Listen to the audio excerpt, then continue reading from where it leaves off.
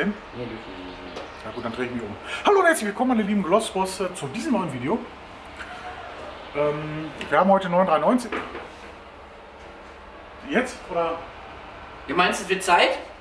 Okay, es wird Zeit. Die, so, das ist jetzt hier die äh, Boss-Trafo quasi. Wie. Jetzt, jetzt schmeißt er die weg. Da schmeißt er die weg. Ich glaube. Weil wer nicht mit der ja. Zeit geht, der geht mit der Zeit. Nee, nein, geht- wenn nicht mit der Zeit geht, muss mit der Zeit Ja, oder so hat der Bernd das gesagt. gehen. Ja. Wo Endlich mal meine neu bezahlte Käppi. Selber bezahlt, so. Wollte ich mir erwähnt haben. Ja, krieg ich übrigens noch Geld von dir. Hey. Nee, ja, also willkommen bei diesem neuen Video. Wir haben uns heute schon ein Thema ausgedacht. Normalerweise finden wir so im Laufe der Aufbereitung ein Thema. Äh, diesmal haben wir uns ein vorhin Thema ausgedacht, weil der Zustand von der 990, der ist, der ist richtig scheiße. Endgegner. Also Kratzer, Kratzer ohne Ende, hier und da, äh, tiefe Kratzer, Handwäsche, falsche Handwäsche, tausend Steinschläge müssen wir auffüllen, dies und das. Schleifspuren. Komm, wir zeigen einmal. Guck mal, guck mal dem Dach an, das ist ja schon pervers genug. Also die Spuren, im, die Aber ich guck mal rum. erstmal in der Röhre schon, dann wird hier schon ganz anders. Schleifspuren hinten am Motordeckel. Ja. Das kriegt die Kamera, glaube ich, nicht. Sondern mal mit der Lampe. Also richtig tiefe Ja, das, Dinger. das sieht jetzt hier auf der Kamera sieht das unspektakulärer aus, aber das sind doch so, ja genau, warte, warte, warte. Keine warte. Steels oder so, die sind auch noch drin, klar oberflächlich, aber sonst hat der in der Röhre sehen wir gefühlt tausende von. Dann mach mal so nach da. Was da? So? Oder andere Richtung? Der bleibt doch mal einmal stehen mit den Dingen. Jawohl, Chef. Mein Gott. Ja, also die, die Kamera kann halt nicht so einfangen, aber äh, die hat überall richtig tiefe Kratzer.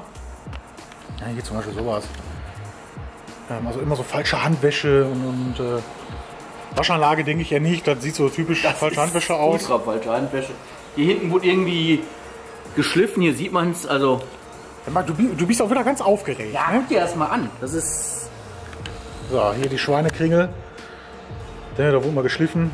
Also Heckklappe wurde, äh, Kofferraumklappe, äh, Motorraumklappe, Motorraumklappe beim Porsche. so. So, die wurde wahrscheinlich mal lackiert. Oh, ja. Ja, ja. Ich glaube, direkt mitgeschliffen wurde dann auch mal hier alles. ja. Also kurzum Endgegner. Das Ding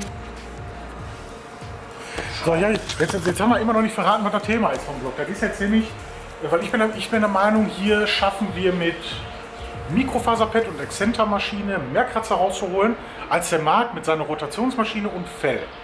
Also ich sag, Rotationsmaschine, heute mal gegen die Kombination Exzenter, Mikrofaserpad und ich sag die Rotationsmaschine auf dem Lake Country Fell, die Clearcut von Capro, schön entspannt bei 1000 Umdrehungen, Nee, also auf jeden Fall Mikrofaserpad, das wird mehr rausholen. das Da- werden wir sehen. Da werden wir gleich aber alles sehen. So, wir haben jetzt hier schon abgeklebt, wie ihr gesehen habt. Äh, Testfeld wird, sollen wir mal Hälfte machen? Hälfte äh, äh, äh, Dach? Hälfte Dach. Sollen wir das Dann mal machen? Vorne, der Kofferraum ist ganz gut, in der Mitte quasi ein Übergang. Klar, hier sind jede Menge Steinschläge, die werden hinterher auch noch aufgefüllt, aber hier schöner Übergang und dann auch mal direkte Marc, Marc, Marc, du, hör mal, du, du, bist so auf, du bist so heiß, so aufgeregt, ne? Ich bin heute. Ja, aber cool, richtig schönes T-Shirt hast du an, ne? Ich sag ja, zwei Punkte. ja. Auch selbst bezahlt. Da krieg ich auch noch Geld von dir. So, ab morgen in Kasso Miet, ne? Weißt Bescheid. So, ja, wir starten erstmal. Ähm, wie gesagt, gewaschen, geknetet ist er. Let's go. Let's go. So, hier nochmal vielleicht so ein kleiner Quick-Tipp. Äh, viele fragen danach, wie viel Politur muss man denn eigentlich nehmen, äh, wenn man Mikrofaser-Pad und Exzenter poliert. Das Pad ist jetzt frisch. Das ist die Menge, die als erstes drauf muss. Und die wird jetzt mit dem Finger, könnt ihr euch auch irgendwie einen Handschuh anziehen, die wird eingearbeitet ins Pad. Jede Faser muss mit Politur bedeckt sein. Und wenn das fertig ist, dann macht man nochmal zwei, drei Kleckse drauf und äh, ja, kann dann, kann dann damit polieren. Also so viel Politur muss drauf. Ich sehe da einmal Videos, die machen dann auf einem frischen Mikrofaserpad nur ihre vier Pünktchen. Das, das, falsch. das ist richtig scheiße. Ähm, man braucht auch die Politur, sag ich mal, so ein bisschen als Schmierung, als Kühlung, weil sonst wird die Faser viel zu heiß. Also macht es so, so ist es richtig. Auch nochmal Aufnahme machen, was wir jetzt hier haben. Eine D300, ich hole mal die Clearcut. Was? Ne? Ne? Ne? Mal schon aufnehmen? Ja, ich filme hier gerade. Ja. Meine Kombination. Oder meine Waffe der Wahl. Clearcut. Die Politurmarke ist eher kühl als heiß, also so ein bisschen Richtung Menziana 400. Nur im Gegensatz zu Menziana 400. Ja, Marc, alles klar. Das ist hier die Clearcut, das ist das Fell und damit starten wir, oder? Damit schlage ich dich. Alles klar.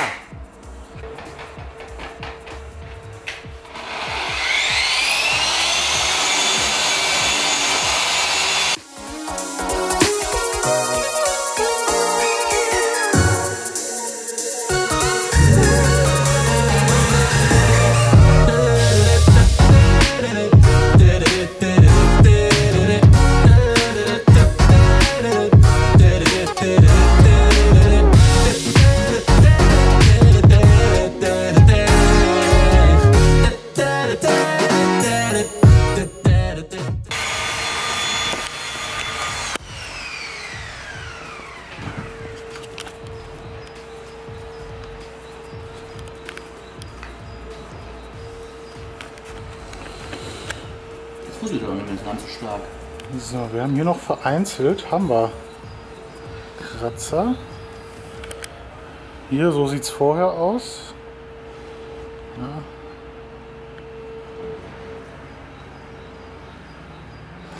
Also lasst euch da jetzt nicht blenden von, von der Anzahl der Kratzer.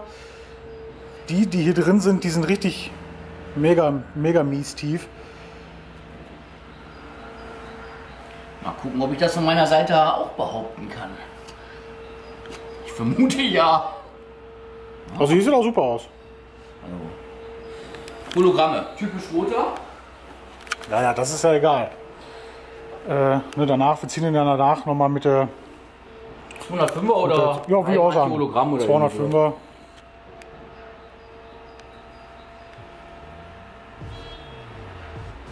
Ja, sieht auch gut aus. Aber typisch Hologramme halt, ne? Das ist halt bei so einer Kombination. Ja, sieht auch gut aus. Hier vorher. Ja. Ja gut, äh, Jetzt das ist jetzt mal meine Meinung. ich mache weiter mit der mit der Exzenter. Ne? Also vielleicht kurze Fazit, was wir bisher schon sagen konnten. Thema äh, ja, Staubentwicklung Ja, beziehungsweise. ge- ganz genau, ganz genau. Der darf man auch nicht vergessen. ich wollte gerade sagen, das ist Mikrofasermäßig, wenn ich das jetzt mal kurz sagen darf, erstmal vom. Du hast natürlich hier keine Hologramme. Der Haze, also dieser leichte Grauschlich, ist Mal, komm auf den Punkt. Fazit ist, das Fazit, pass auf, Exzenter hinterlässt ein schöneres Finish, Staub weniger, lässt sich angenehmer fahren. und der Ist, Cut ist genau, richtig gut. alles klar. Mikrofaser Beste. Na,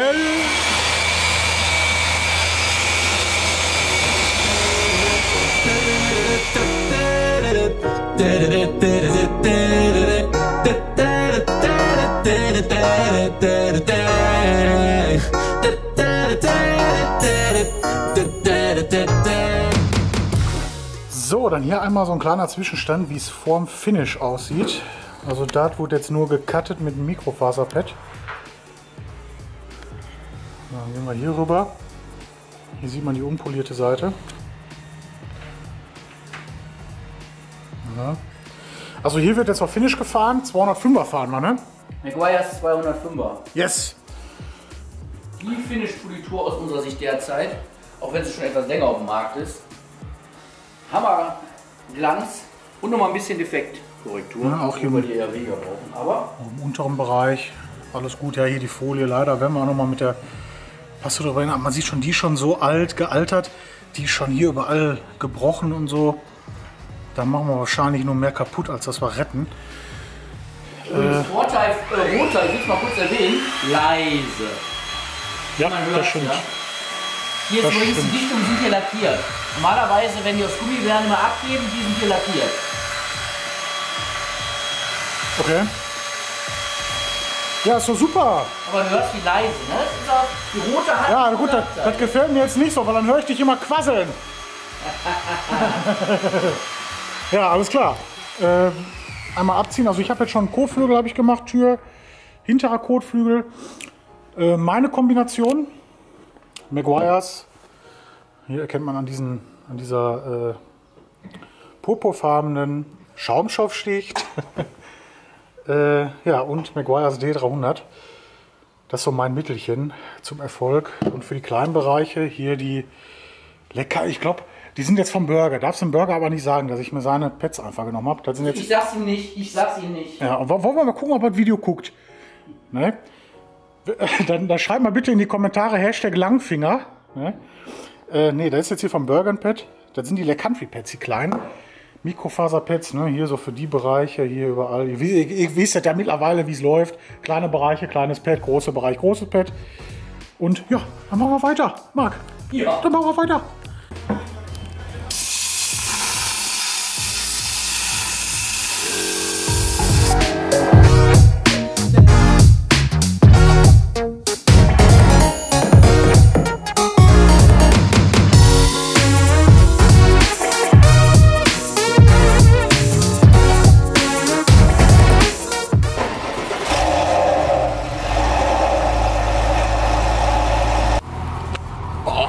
Knallt aber auch die Sonne drauf. Du. Hui. Ja. Ich weiß gar nicht, ob man das hier sieht im Video. Ne? Also, ist ja ich, Im Display sehe ich jetzt nichts. Ich sehe nur geilen Lack. Ja. Ja. Sonnenkontrolle erfolgreich. Wir fahren jetzt gleich wieder rein. Äh, machen, das, machen das Wachs drauf. Haben die Halle nochmal ausgesaugt und so. Ne?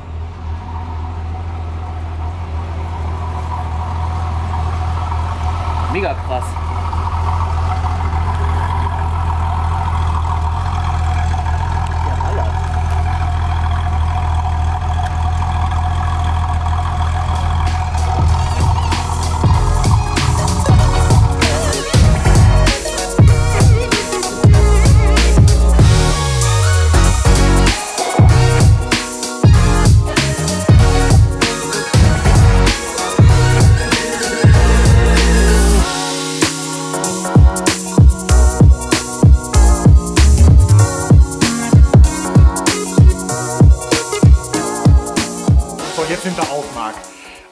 Zweiten. mal. Ja, jetzt zum, zum zweiten Mal. Also heute ist auch der zweite Tag, zweiter Versuch. Äh, Aufnahme hat gerade nicht gestartet.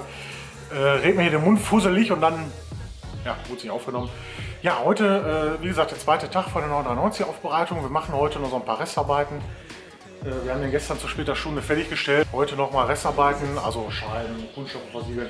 Zweite Schicht Reifenpflege drauf, Rillen und putzen. Also nicht beim Margrille putzen, sondern an meinem Kraftfahrzeug. Ähm, ja, Margret geht auch schon in sicherer Entfernung. Ja. Bevor wir über der Arschritze dann glauben muss. Ja. Ja, auf jeden Fall Restarbeiten. Und wir hoffen, dass wir, also hinter mir sind wir schon. Das war hell und so alles. Ne? Ab und zu kommt die Sonne raus. Also ab und zu, ab und zu kommt die Sonne raus. Ja, die Kamera macht jetzt hier ein bisschen Strich durch die Rechnung. Äh, ja, wir hoffen, dass da gleich die Sonne nochmal rauskommt, wenn wir dann rausfahren. Na, gestern Sonnenkontrolle habt ihr ja schon gesehen. Sah sehr schön aus. Ne, so ein Two-Step lohnt sich dann doch immer. Ne? Und äh, ja, dann machen wir weiter. Innenraum machen wir auch ein bisschen was. Ne? Also zum Beispiel äh, Lederknauf nachfärben. Also jetzt ist er noch abgeschlossen. Sind gerade erst hier. Ähm, ja, zeige ich gleich vielleicht nochmal. Ist jetzt eigentlich nicht so interessant. Leder nachfärben haben wir ja schon mal gemacht. Ne?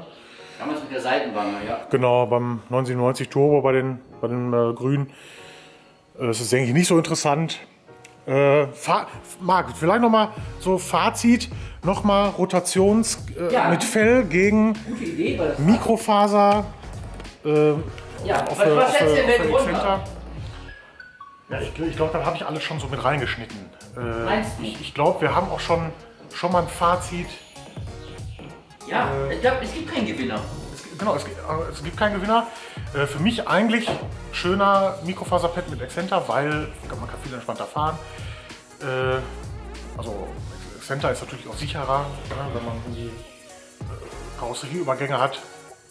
Läuft man da nicht Gefahr durchzupolieren, also beziehungsweise die Gefahr mit, mit der Rotationsmaschine und Feld ist deutlich größer. Und ja, also gab keinen Gewinner eigentlich. Jeder, jeder wie er Bock hat. Ja, also der eine machte lieber mit der Rotations- und Fell, der andere mit der Exenta und äh, Mikrofaserpad. Äh, wir können alles, wir können beides. Äh, ich mache es lieber mit der Exenta, der mag lieber mit der Rota, anscheinend.